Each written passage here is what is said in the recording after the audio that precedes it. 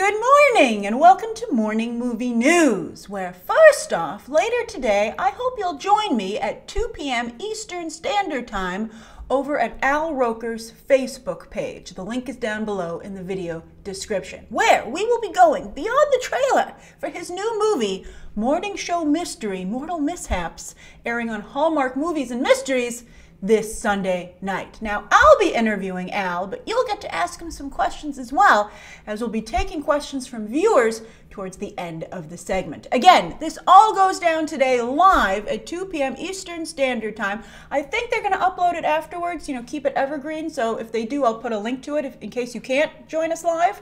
But if you can, I hope you will. Again, at 2 p.m. Eastern Standard Time on Al Roker's Facebook page. And the link again is down below in the video description. All right, so today's morning movie news, we've got two stories and a viewer question, one of your questions right now.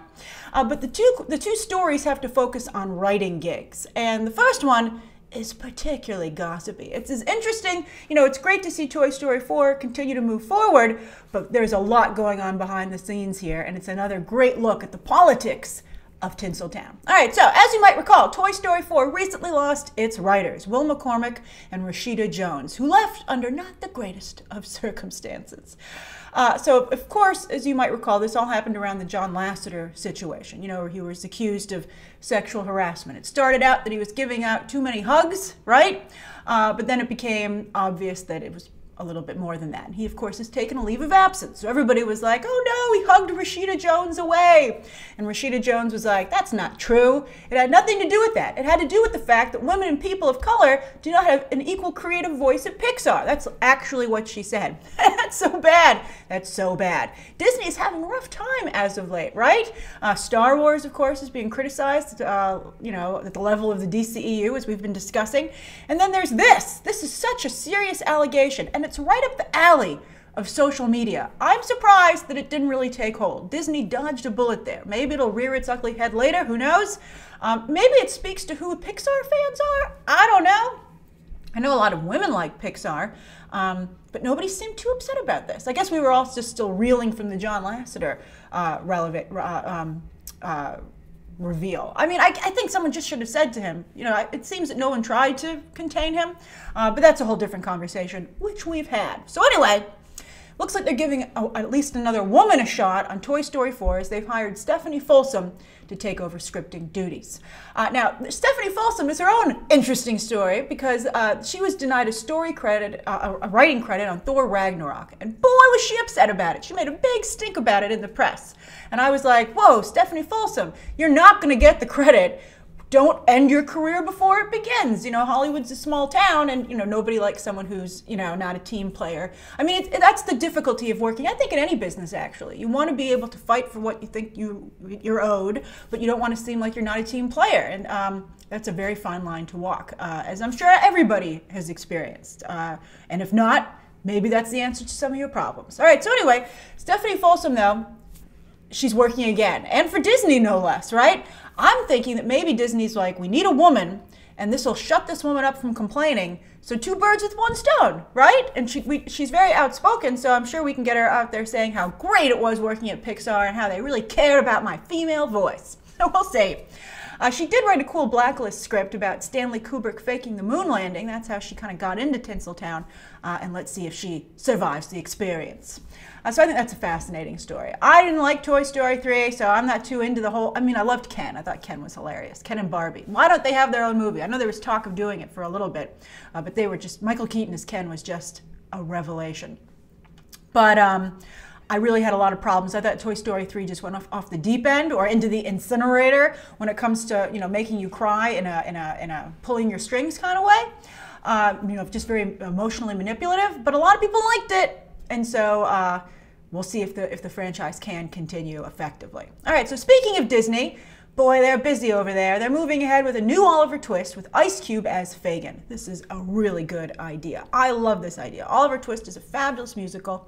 And you know, for a while there, everybody was really into Annie, you know, the hip hop community. They had that great remix of It's a Hard Knock Life, and then they remade Annie with Jamie Foxx, but they really, really like, you know, diluted, I think, what could have been a more powerful film, right? Talking about who is reflected in, you know, these communities today, you know, with who, who's in there and how this, how would that change the story? So Oliver Twist, of course, uh, the, you know what? You should really watch Oliver Twist. It's really good.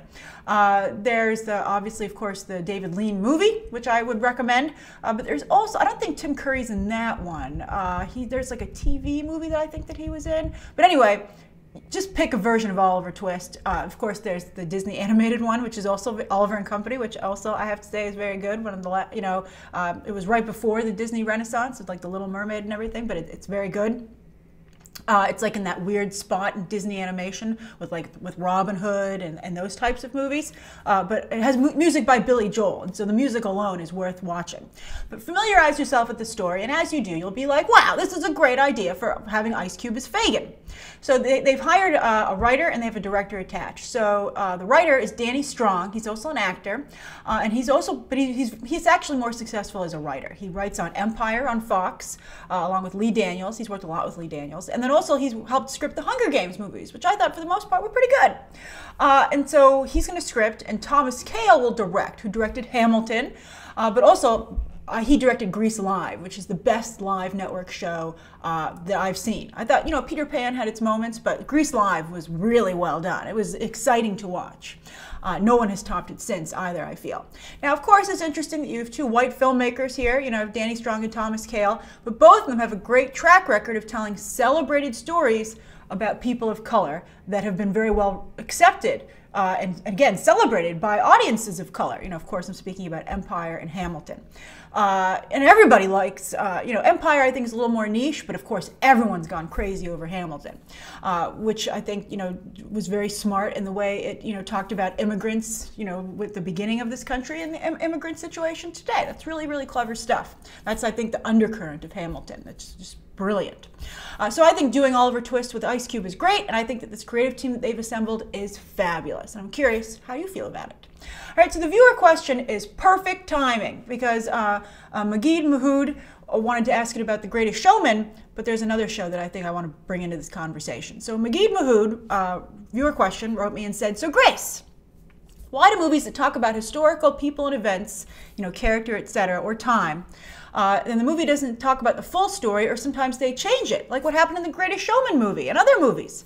I hope you answer my question. I love your show and your opinions about a lot of topics, and then some very cute emojis. Thank you, thank you. Uh, I'm, I'm, i hope I'm pronouncing your uh, username correctly, Magid Mahood. But great question. All right, so here's the thing: Hollywood only only cares about the sale, and unfortunately, they don't have any feeling of responsibility that they're you know, making people feel that this is the truth. I think they always say, well, based on a true story, or like, we never said this was 100% accurate. And it's like, you know what, come on. You know that people are going to walk away and be like, I've learned something about this real character or situation. And in reality, they often learn incorrect things.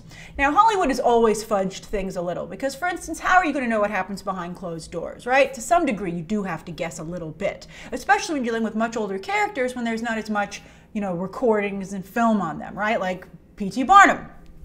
There's a lot known about P.T. Barnum, though, which The Greatest Showman just pushed aside.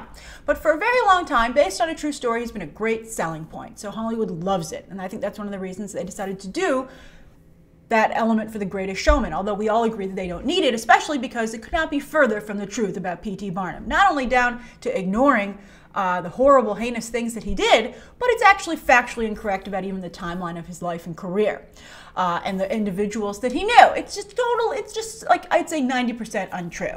And also, a lot of those elements I think they felt were not audience friendly. So, you know, they cherry picked, you know, they basically just wanted the name, and that really did backfire on them. So, hopefully, this will discourage people from doing that in the future. But there are two television shows that I feel are even more egregious because they even, like, The Greatest Showman is clearly a fantasy, it's a musical fantasy. But these two shows present themselves as being highly factual when in fact, they are not. For instance, Manhunt Unabomber, I started to watch it. I loved it. I loved it so much. I, and as many of you, I've seen some of you say the same thing on Twitter. When you love these shows, you start to do your own research while you're watching them, right? So I was like, oh, I want to learn more about this. And I discovered that actually the lead, one of the lead investigators, um, on that case was a woman, and it's not anywhere in the show. And that was very frustrating to me. So I stopped watching it, actually. I was like, I don't want to watch lies. This is just fiction. And then with the assassination of Gianni Versace, which is wonderfully done, just started this week, it's also really, really untrue. Now, some things are true, like uh, the shooting, like the dove that was also shot, uh, and also, you know, the, the, the, situation with the blood on the steps. I don't want to give it away if you haven't if you haven't watched it. Uh, but a lot of stuff is made up. For instance, Andrew and Gianni Versace never went on a date. And then even at the club where they first meet, Versace picked up Andrew. He approached him instead of vice versa. And that's a huge change. Not only is it a huge change to the story, but I see no reason to reverse it. I don't know why this, the, the show would decide to do the alternative, right? Uh, I mean, it's not like, oh, well, it was harder to connect the dots or something like that. they're, they're pushing a narrative that suits them, but it's not the truth.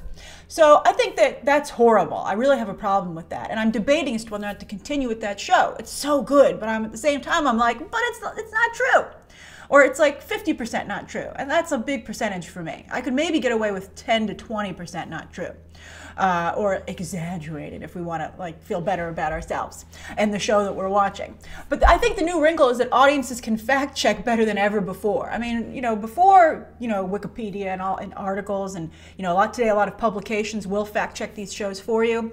Uh, no, everyone just had to take it at face value, and so Hollywood, you know, wasn't you know they weren't being called on their their, their fictionalization as much. They're still not really being called on it to be to be fair, and I think that's a shame. I, I, but I, and I think they're getting worse because of it. Uh, the Crown is a good mix, though. I think The Crown is an excellent mix. I, I wouldn't take it as gospel on Netflix, but I think it's pretty darn close. So I would say when you watch these shows and these movies about real people, always do your own research and make sure you know what the reality of the situation is.